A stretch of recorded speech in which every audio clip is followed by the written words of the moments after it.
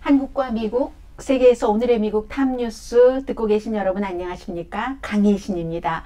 오늘 미국은 그 월요일이고요. 월요일 오후 이제 점심시간이 조금 지났습니다. 한국은 아, 출근하시는 분들 출근 준비를 하실 시간인데요. 미국에서는 오늘도 아침 뉴스와 지금 또 이제 점심시간이 조금 지나고 나서의 탑 뉴스가 조금 다릅니다. 다른데 월요일부터 어쩌죠? 한국은 물론 화요일이지만 한국 분들도 많이 살고 계시는 페어팩스 카운티라는 곳이 있습니다. 버지니아 주요. FBI 그 본부도 있고 하는 그 페어팩스 카운티가 지역구인 한 연방 하원 의원 사무실에 한 남자가 야구 방망이를 가지고 들고 들어가서 스태프 한 명, 보좌관 한 명과 첫 출근을 한 인턴을 때렸습니다. 그 야구 방망이로. 물론 그 용의자 지금 체포가 됐는데요.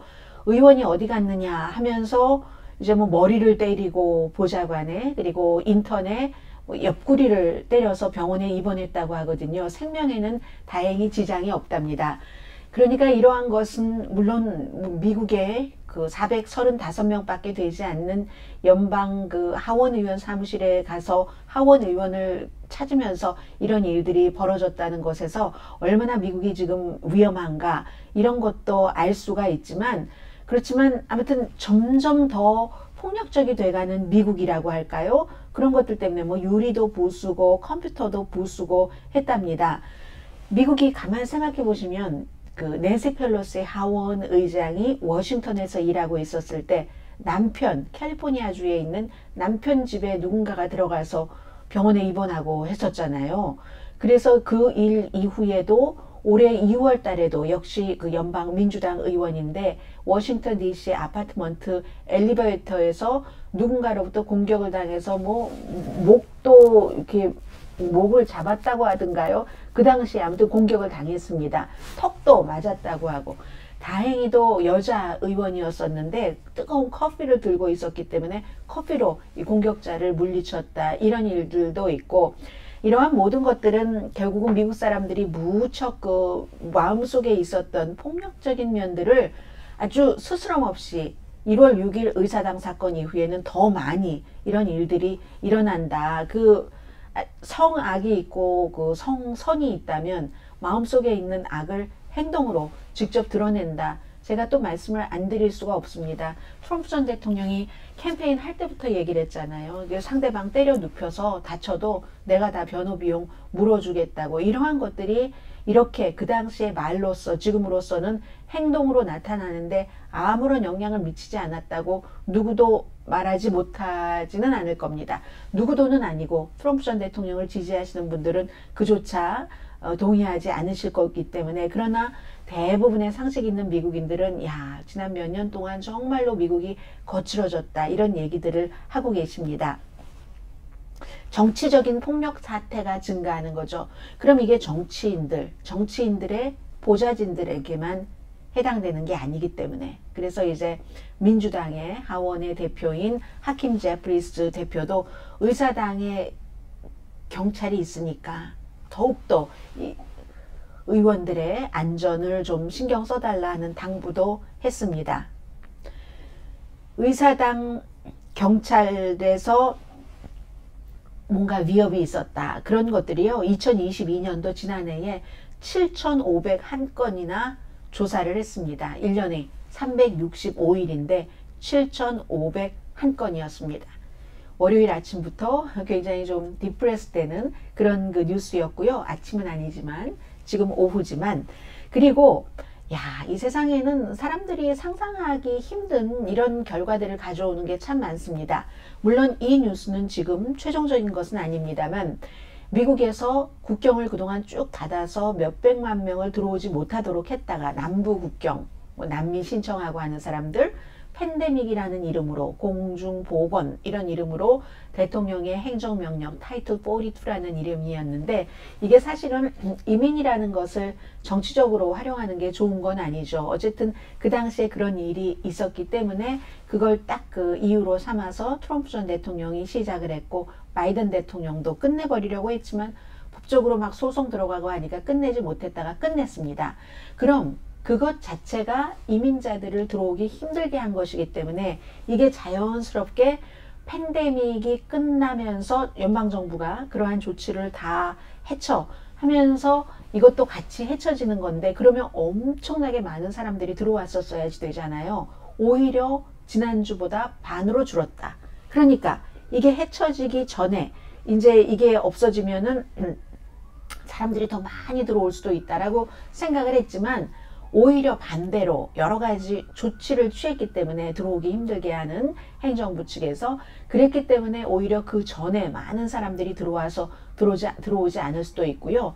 지난주에 하루에 만 명 정도가 미국으로 국경을 넘어서 들어오려고 했다면 지금도 줄 서 있는 사람은 뭐 웬만큼 되지만 5천 명, 뭐 4천 명 이렇게 지난 주말 사이에 조금 줄어들었기 때문에 뭐 바이든 대통령에게는 조금 좋은 뉴스가 될 수는 있겠지만 이게 끝은 아니라는 거죠. 지금 일단은 그렇다. 그래서 미국이 이제 이런 일이 있기 이전에 멕시코와도 다 이제 협상 같은 것을 해서 멕시코를 통해야 멕시코하고 미국이 딱 국경이 미국이 북쪽, 멕시코가 남쪽. 그 밑에 쭉 있잖아요. 뭐 콜롬비아, 온드라스, 뭐, 뭐 페루, 뭐 과테말라.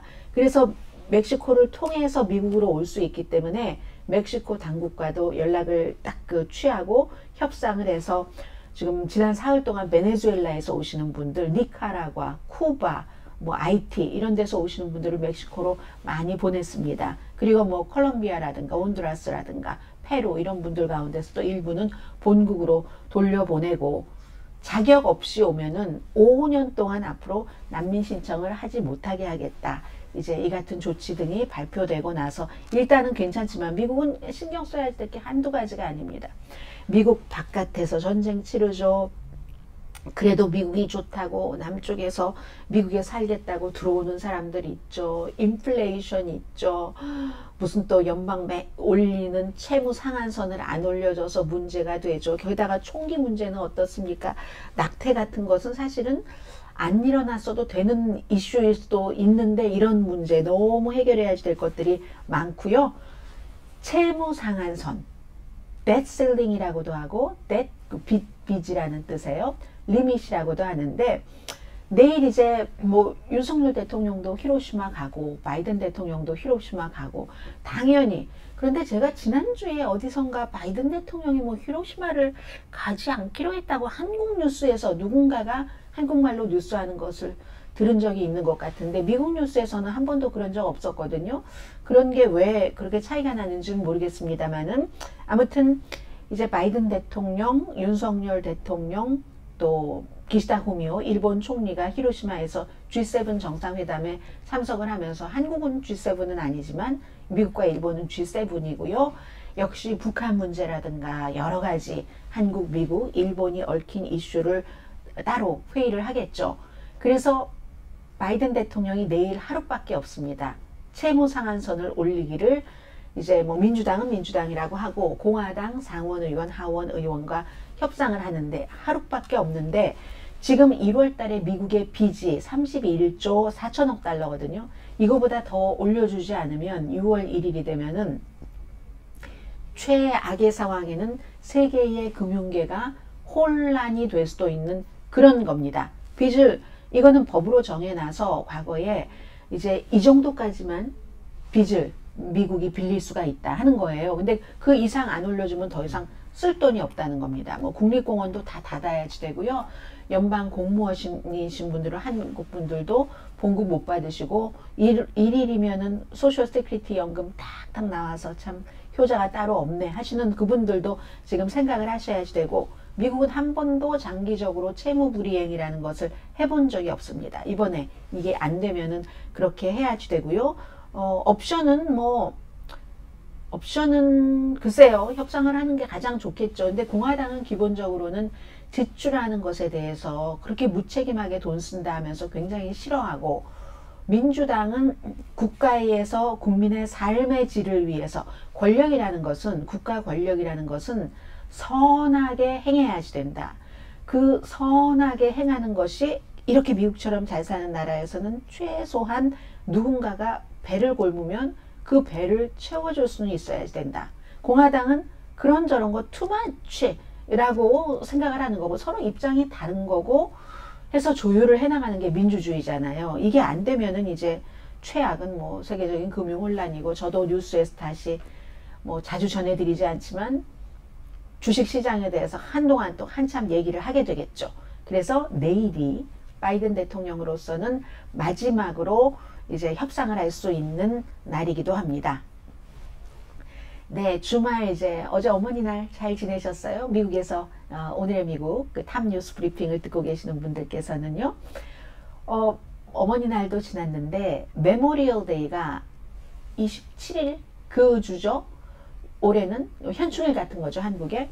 그런데 이건 세계적으로도 중요하다고 보여집니다. 오늘 아침에 이제 오늘의 미국 정규 방송 끝나고 나온 얘기인데 Memorial Day 여행객은 미국으로서는 아 얼마나 붐빌까 뭐 여행 그 자체에서도 중요하지만 세계에서는 미국의 경제가 팬데믹 이후에 어떻게 돼가고 있는 것인가 그 점에서도 상당히 눈여겨봐야지 되는 그런 면이죠.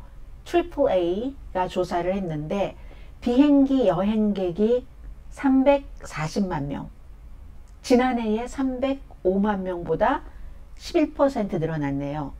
그리고 2019년보다 5.4%가 늘어났습니다. 늘어난 겁니다. 이제 말이 되면은 예상하기를. 그러면 2019년은 팬데믹 직전의 해잖아요. 2020년 초부터였으니까 아 여행업계는 요즘 그 항공기 티켓 값이 아주 비싼데도 정상으로 돌아가고 있구나.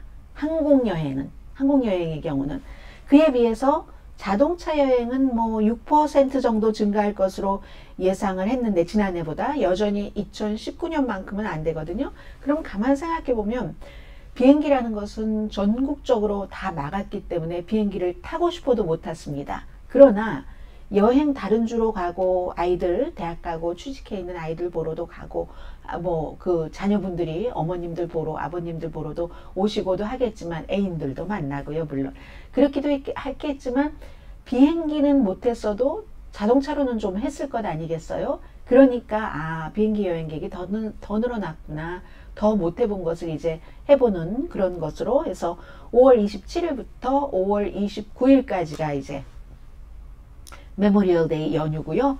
다행이네요. 개솔린 값은 1년 전에 비해서 30%가 줄어들어서 현재 언리디드 그 레귤러 개솔린 값이 지난해에 갤런당 5달러에서 현재는 3달러 53센트라는 아침에 그 보고서도 나왔습니다. 개솔린 값은 한 반 정도가 원유 값에 좌우되는데 미국 뭐 텍사스유 서부 텍사스유가 지금 갤런당 한 70달러 정도 하기 때문에 최고 때보다 많이 내려갔잖아요. 그래서 개솔린 값은 다행히 내려갔다.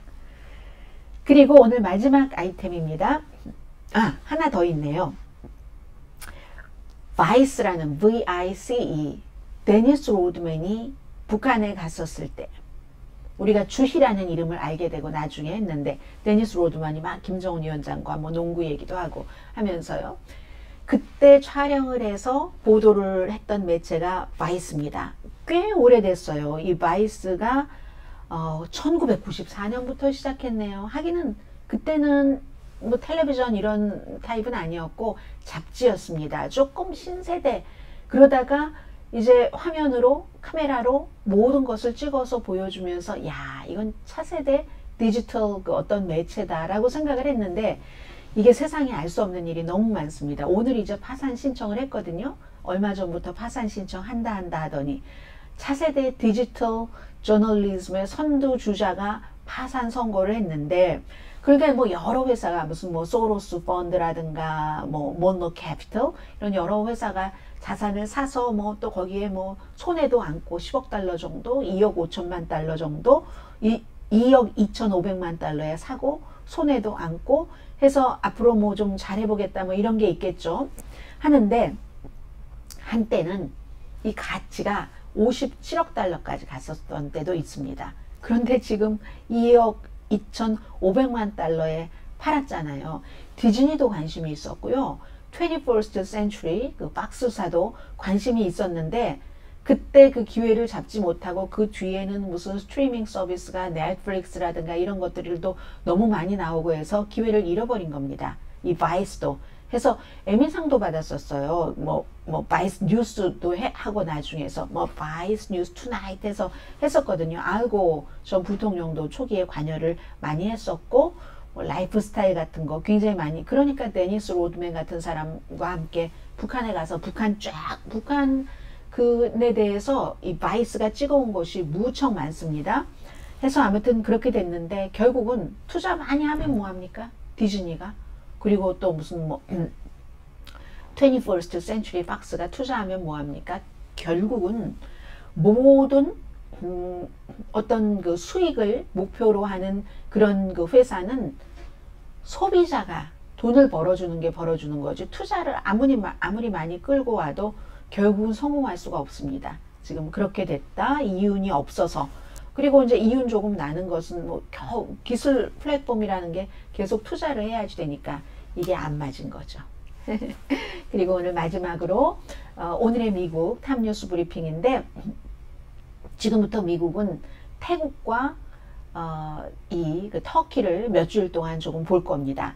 터키는 에르도안이라는 독재자가 5년을 더 집권할 수 있는가 하는 것을 5월 28일에 결정을 하게 되고 지금으로서는 어, 야당 지도자가 아니라 에르도안이 결선에서는 당선될 확률이 높다고 보는 것 같습니다. 왜냐하면 5% 정도를 가져간 제3의 인물이 뭐 쿠르드족 이렇게 저렇게 해서 어쨌든 에르도안에게 그 좋은 그런 환경이거든요. 그래서 많은 사람들이 아, 야 에르도안이 물러나고 뭐 뭐 그 러시아도 조금 힘을 좀 뺄 수 있고 왜냐하면 에르도안과 푸틴이 친하니까는요. 그런 걸 기대는 했지만 그 기대에는 못 미쳤어도 터키의 국민들도 야 이제 더 이상은 독재 싫다고 하네 이런 것을 우리가 좀 체감을 할 수가 있고요. 태국의 경우도 42살에 군부가 아닌 아주 그 정말 대단한 개혁자가 등장을 해서 어 지금 보면은 저 사람이 총리가 돼야지 돼. 하지만 군부가 그 상원을 그 지명을 하기 때문에 이것도 어떻게 될지 모르고 해서 세계는 터키도 변화를 원하고 좀 민주주의 방식으로 또 태국도 그런 민주주의 방식으로 변화를 원하고 해서 태국 같은 경우는 아마 워낙에 뭐 군사 쿠데타가 많았던 국가지만 12번 뭐 따슨 됐지만 이번에는 군사 쿠데타가 일어날 가능성은 별로 없어 보인다고는 하지만 이 42살에 제가 이름을 못 외웁니다. 그 개혁자가 아주 교활한 정치에 있어서의 검증된 사람은 아니잖아요. 공부는 많이 했어요. 태국에서도 공부하고 어렸을 땐 뉴질랜드에 가서 공부하고 뭐 하버드도 나오고 MIT도 나오고 뭐 비즈니스다 공공정책이다 공부를 무척 많이 했는데 어쨌든 차세대의 이또 아시아에서의 그런 막 군화로 국민들을 짓밟던 그런 국가에서 학생들이 막 봉기해서 이런 일들이 일어날 수 있는가. 미국은 지금 이 터키와 태국의 선거와 선거 결과를 굉장히 중심적으로 보고 있습니다. 자, 오늘 이 정도 할까요? 오늘의 미국 탑뉴스 브리핑 여기서 마치고요. 어, 또 이제 음, 보다 더 미국적인 것이 듣고 싶으시면 오늘의 미국 정규 방송 이미 올려놓은 지 몇 시간 됐으니까 한번 뭐 다른 일 하시면서 틀어두셔도 괜찮을 것 같습니다. 저는 내일 아침 오늘의 미국 정규 방송 시간에 뵙겠습니다. 지금까지 오늘의 미국 탑 뉴스 브리핑 강혜신이었습니다.